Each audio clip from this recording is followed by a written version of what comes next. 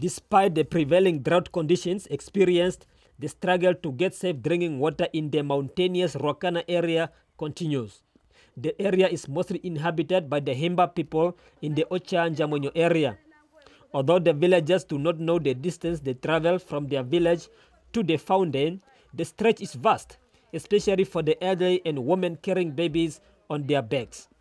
The closest water point is situated in the mountains, which is difficult to reach, and even the water there is not fit for human consumption.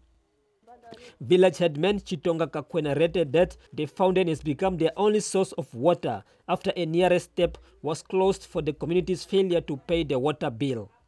The villagers have called on the government to open the tap to remedy the situation. They said those who are currently have access to clean water in the village are people with money and can afford to pay for the water. For NBC News, Panduran Nepembe, Ruacana.